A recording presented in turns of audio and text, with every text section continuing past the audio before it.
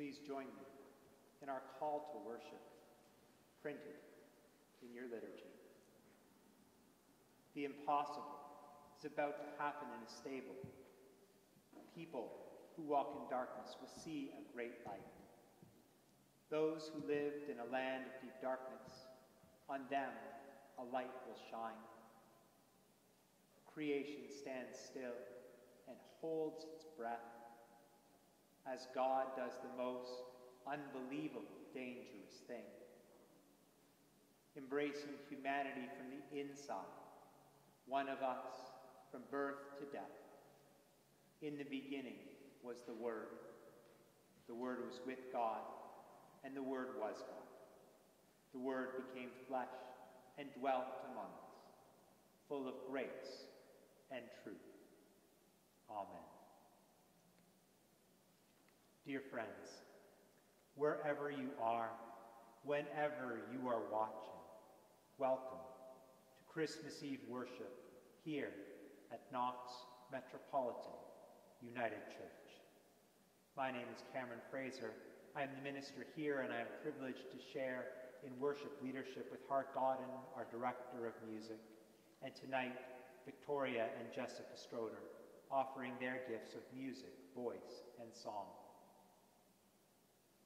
We have been broadcasting our services, often in and from an empty room for the better part of nine months now. But tonight, this evening, it feels particularly bittersweet and strange to be gathering for this, one of our most beloved services of the year, without all of you here in this space. So wherever you are, whether you're watching tonight or in the days and weeks to come, whether you're alone or with others, whether you're joining with the community online, commenting together, we pray that this time of song, prayer, story, and reflection would be a blessing. Faithfulness to a call to love our neighbors as ourselves means that we do this without all of us here in this space.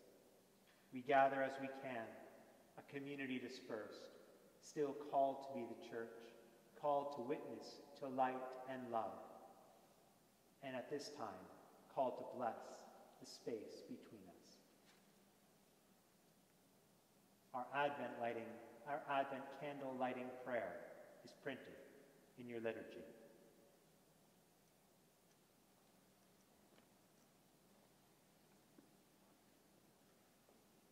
From light comes life. Deep and expectant earth, a seed stretches.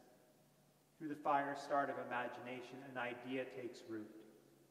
In a passionate flash, love grows with infant intensity. Safe in the womb, a child senses its season turning and stirs. It is Advent, something coming, vulnerable in its unstoppable desire. O oh God, unquenchable light, may they grow, the seed, the love, the idea, the child.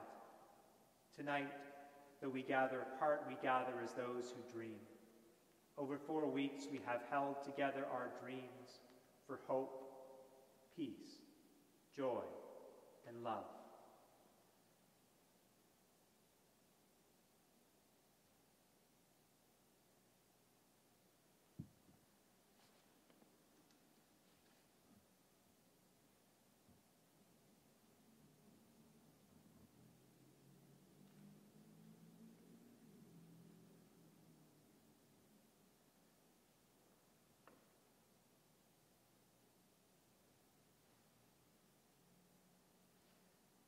Tonight we will light our final candle. In the beginning, God dreamed of a beautiful world. In Egypt, the Israelites dreamed of freedom. In the wilderness, the people dreamed of safety. In Babylon, the exiled people dreamed of coming home. In Bethlehem, the shepherds and wise ones dreamed of a new beginning. When Jesus walked a path of hope, peace, joy, and love, some of these dreams came true. The sick were healed poor had food. The forgotten and ignored were seen. Everyone was invited to the table. So tonight, we are those who dream. Tonight, we dream the same dreams of our ancestors before us. We dream of justice and mercy, of love and kindness, of peace and hope. Tonight, we dream of a God that draws near to us, all out of unfailing love. May this candle be a reminder that there will be a day when every dream will be fulfilled. And until then, may we be those who dream.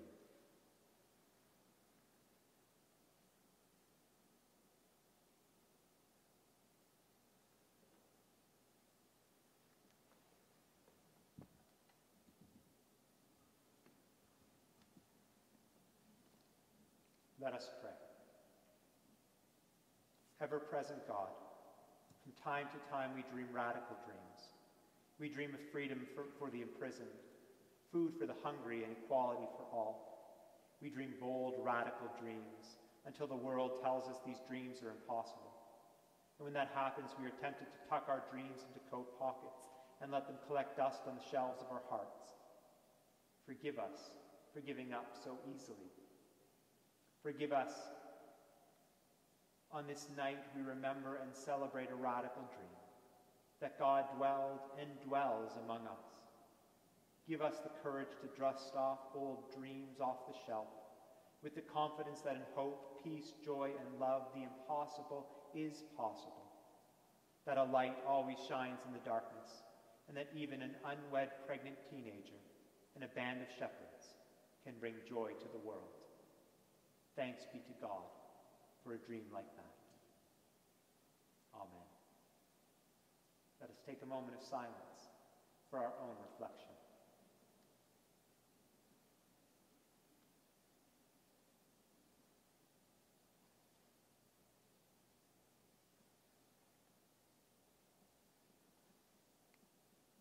Dear friends, may the peace of Christ be with you all, and also with you.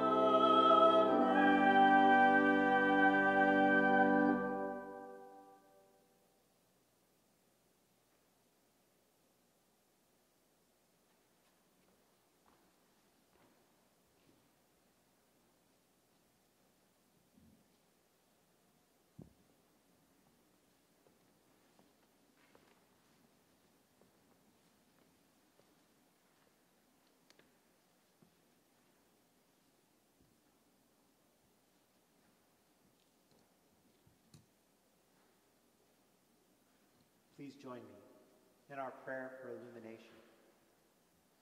O Holy One, on this holy night, if we listen closely, we can almost hear the angels sing.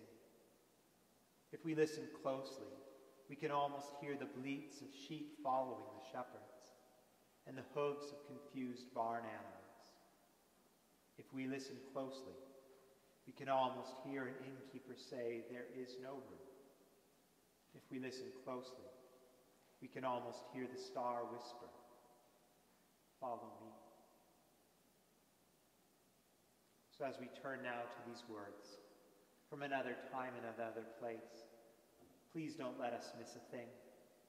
The smell of the hay, the cool of the air, the way Mary cherished this wild dream in her heart. We want to hear it all. We don't want to miss a thing.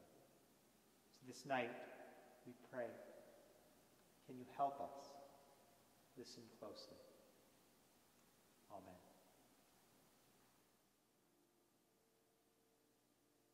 The people who walked in darkness have seen a great light. Those who lived in a land of deep darkness, on them light has shined. You have multiplied the nation, you have increased its joy. They rejoice before you as with joy at the harvest, as people exult when dividing plunder. For the yoke of their burden and the bar across their shoulders, the rod of their oppressor you have broken as on the day of Midian. For all the boots of the tramping warriors and all the garments rolled in blood shall be burned as fuel for the fire. For a child has been born for us, a son given to us. Authority rests upon his shoulders, and he is named Wonderful Counselor, Mighty God, Everlasting Father, Prince of Peace. His authority shall grow continually, and there shall be endless peace for the throne of David and his kingdom. He will establish and uphold it with justice and with righteousness from this time onwards and forevermore. The zeal of the eternal shall see this come to pass.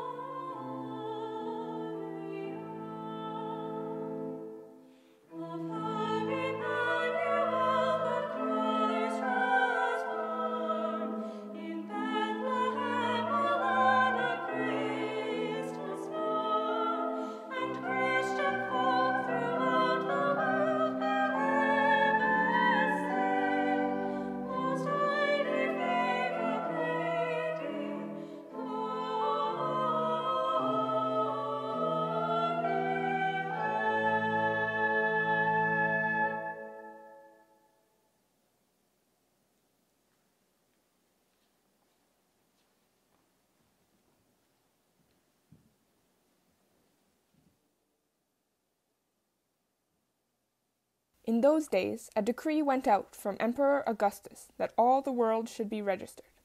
This was the first registration and was taken while Quirinius was governor of Syria. All went to their own towns to be registered. Joseph also went from the town of Nazareth in Galilee to Judea, to the city of David called Bethlehem, because he was descended from the house and family of David. He went to be registered with Mary, to whom he was engaged, and who was expecting a child.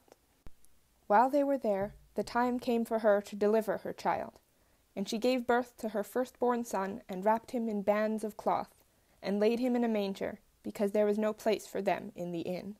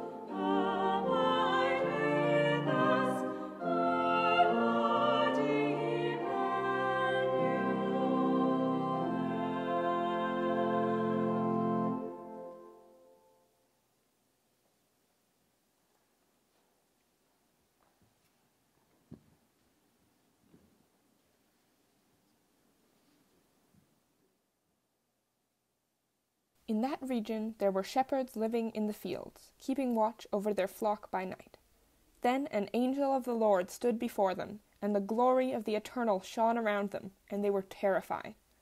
But the angel said to them, Do not be afraid, for see, I am bringing you good news of great joy for all the people.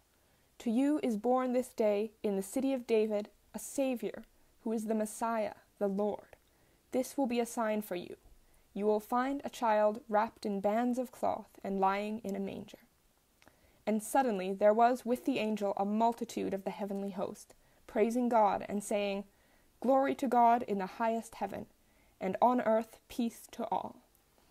When the angels had left them and gone into heaven, the shepherds said to one another, Let us go now to Bethlehem and see this thing that has taken place, which has been made known to us. So they went with haste and found Mary and Joseph, and the child lying in the manger. When they saw this, they made known what had been told them about this child, and all who heard it were amazed at what the shepherds told them.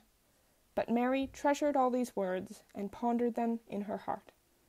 The shepherds returned, glorifying and praising God for all they had heard and seen, as it had been told them.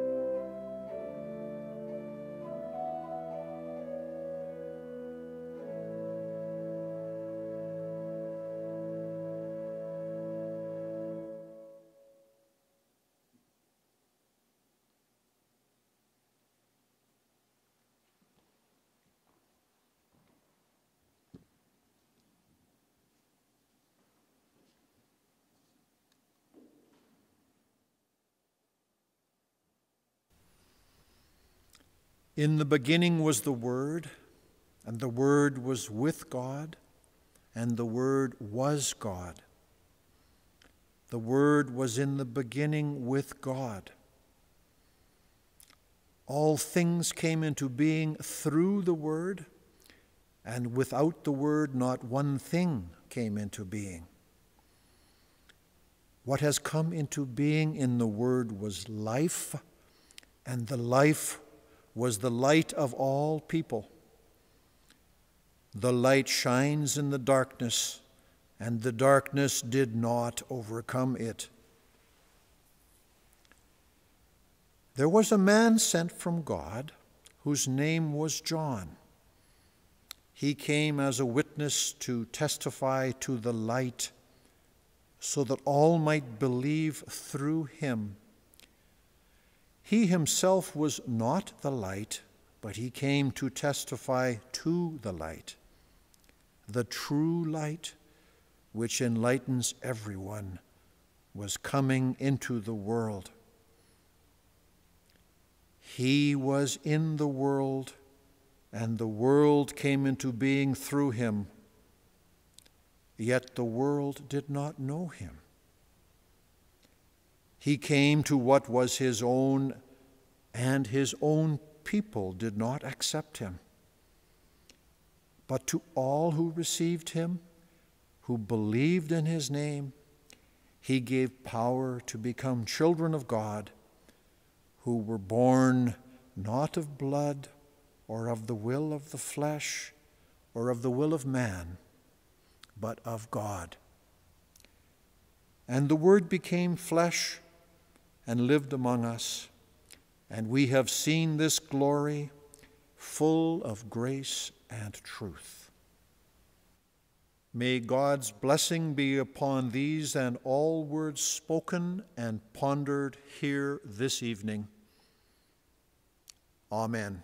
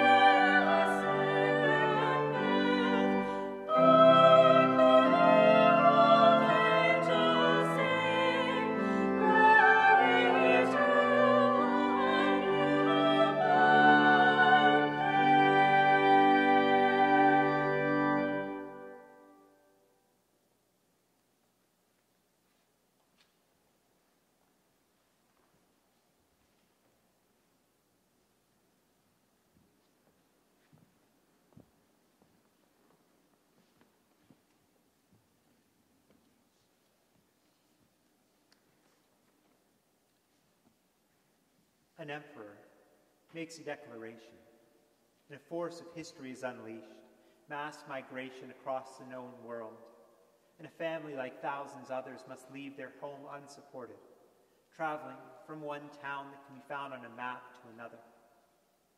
A young woman feels a quickening within her as a biological process begins, one from which each one of us emerged onto this planet. A frightened couple search for safe space, for refuge, for asylum, and they find amidst a world of closed doors and cold stares that sanctuary opens to them from those with the courage to embody compassion and answer a call to radical hospitality. Divine light enters the world in the midst of human interdependence, bonds of family, chosen community, reminding us, calling us to recognize that connection is holy. Divinity embraces fragility and vulnerability, eschewing dominance, to be breastfed and snuggled, to cry and be held, to need, to be powerless, to accept help. Simple and the impoverished are welcomed with heavenly choirs, while the rich and the wise ones must leave their spaces of power and learning before they might come face to face with what has come to be, guided by the primal wisdom of fire in the night sky. Particularities call us to pay attention, not to argue historicity or accuracy, not to argue one way over another, but to pay particular attention to the particularities of our world and our lives today.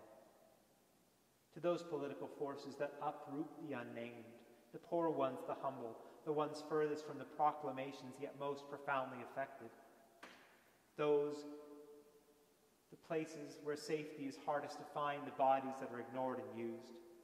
The Nativity calls us to pay attention to the bodily, the earthly, to the knocks on our door, the requests for help, and the forces that keep some of us safe while millions are displaced.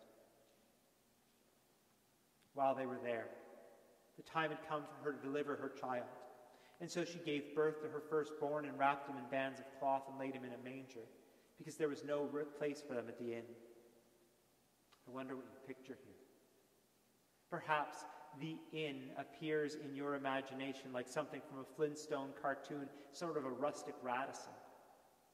But it's worth remembering that we encounter these words across a gap of time, space, and culture. In Jewish Palestine, the world from which the story emerges, an inn is not a licensed establishment, part of a prototypical hospitality industry.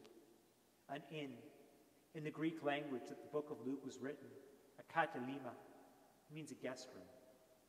You see, a typical first century home in Palestine under Roman rule looked like this.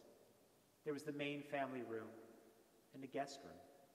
You see, this is a culture in which hospitality is so central that it shapes the architecture of their homes. And that guest room would be at the back or on the roof. And then there was a third space, a place for the animals. Now, our modern context, we imagine uh, animals and humans separated in such a different way.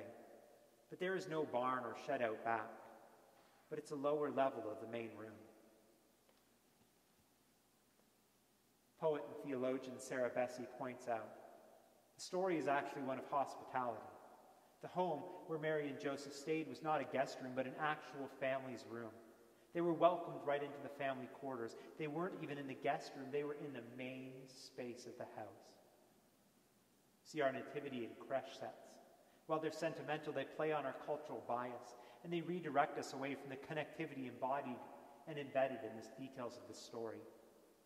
Over the last few years, we've added unwritten characters into the interaction interactive version of the story that we tell at Follow Yonder Star, our Christmas Eve service for children and their families. Particularly, we've added the midwives. Their presence doesn't make it onto the pages of the book of Luke, but their absence from the narrative on the page makes their presence in our hearing all the more palpable. Like the midwives in the Exodus story who courageously defied Pharaoh's orders to cast male Israelites into the Nile, like the Hamialedata who attended Rachel in Genesis and in other key moments in the Hebrew scriptures. Surely the women of Bethlehem, the women who were on the road with Mary and Joseph for their journey from Nazareth, surely they attended the birth. It would be unthinkable for them not to do so. They brought their wisdom of the body, the earth, the plants, and their stories of the matriarchs, the heroines of their people. The Christmas story isn't one of loneliness and quiet isolation in the dark, writes Sarah Bessey. It is a story of welcome and hospitality. It is a story of lamplight and family. It is a story of birth in all its incredible sacred humanness, entrenched in a culture and a time and within a family. What a difference this makes. When we reframe our story as the divine expressed in that incredible sacred humanness, in a culture and in a time and in a place, I believe we're guided by this story into a deeper engagement with the humanness of our own lives and our world. The story invites us to seek the divine not only in that which is sublime, but in the ordinary. As we speak this story, human words to human ears, the telling becomes a practice in celebrating that it is connection that is holy. So, as those who dream, may the specificity and the humanness of the geography, the biology, the ethnography of this story challenge us to root our dreams in the realities of this world. That peace would come, not an amorphous, abstract peace, but peace to real places that can be found on maps. That real human bodies would be fed and cared for. That cultures full of beauty and stories would be welcome to bring their divine gifts to bear in our world. For tonight, we are those who dream, and we remember that we are not alone. We live in God's world.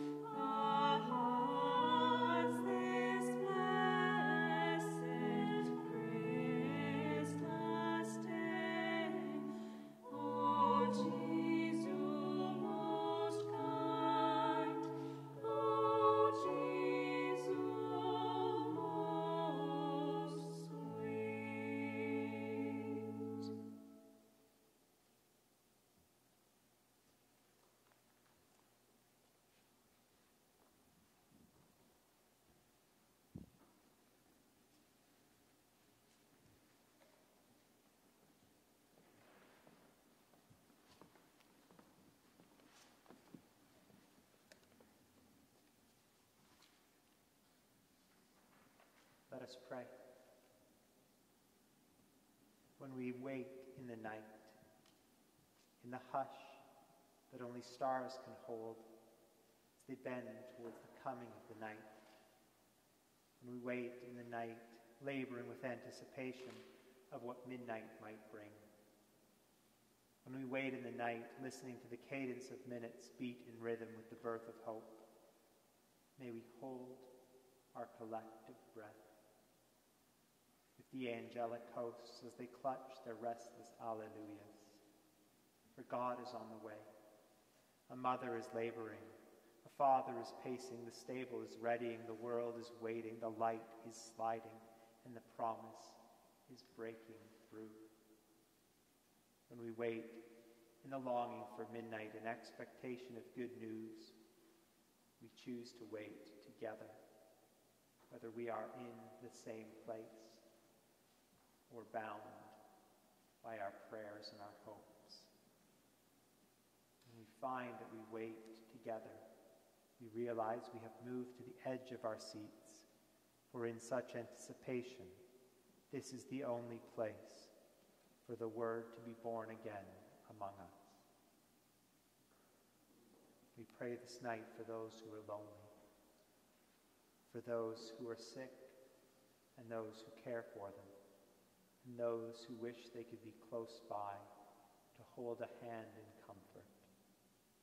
We pray for those who are separated from their supports and those that they love and need to hold close. We pray for those who long for a safe space, recognizing that having a house does not mean necessarily a safe place to call home. We pray for those who are grieving. We pray for those who are cold and looking for warmth, whatever that means.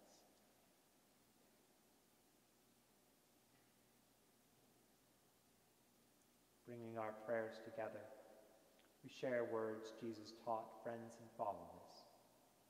As a child turns to her mother, we turn to God and pray. Our Father, who art in heaven, hallowed be thy name. Thy kingdom come, thy will be done on earth as it is in heaven. Give us this day our daily bread, and forgive us our trespasses, as we forgive those who trespass against us. Lead us not into temptation, but deliver us from evil. For thine is the kingdom, the power, and the glory, forever and ever. Amen. If you have a candle, wherever it is you are worshiping with us, we'd invite you to find it perhaps dim the lights in the room you are in as we sing together Silent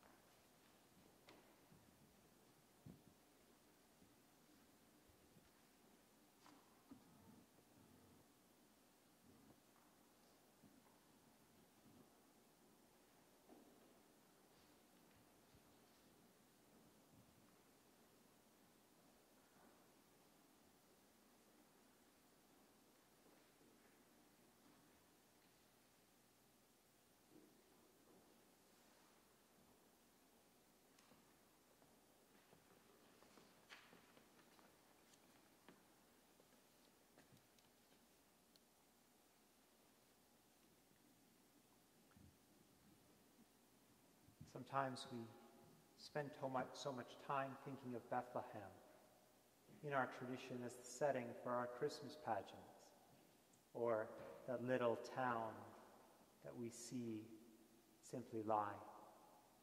We forget that Bethlehem is a place, people who live there today. It happens to be in one of the most conflict filled places of the world. So it has been our practice for many past years to pray on this evening for the city of Bethlehem. Tonight we use the words from the very Reverend David Giuliano, the 39th moderator of the United Church of Canada. Let us pray. O mystery grand is the universe, mighty force in all creation, power beyond power, yet come as an infant, vulnerable and fragile and beautiful. Come in the midst of poverty, powerlessness, and longing. Come again, O promiser of peace. Come again to the land of your birth, mired in fear and oppression and injustice. Come again where bullet holes pock the walls of sanctuary, where craters mar once hallowed streets. Come again where children dream of homes they have never seen. Be born again in the camps. Be born again in the stables and homes. Be born again in the cities and languages. Be born again among the nations. Be born again in places of injustice. Be born again a promise of hope, a sign of love and joy to the world. Be born again in our hearts, that we too might be called bringers of peace and children of God. Amen. We are so grateful that you have worshiped with us this evening. This is the second of three Christmas Eve services. At 10 p.m., we broadcast a special contemplative service, an opportunity to sit with the events of the day and the complex emotions that we may have. We'd also like to invite you immediately after the service to join on Zoom for a time of festive cheer Bring a drink of your favorite festive beverage and join with friends, whether it's for a few minutes before you move on to another activity, or whether you'd like to stay and chat for a while. An opportunity to connect, albeit through a screen, awaits. Our closing hymn is O come, all ye faithful.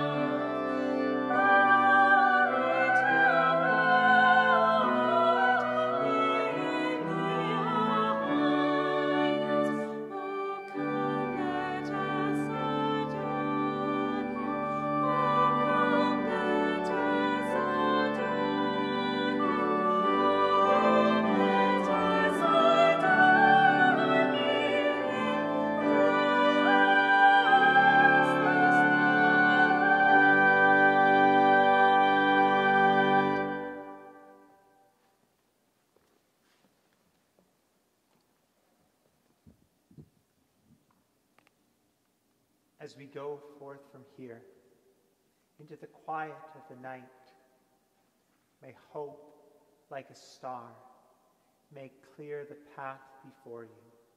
May peace, like a ribbon, weave around you to keep you safe.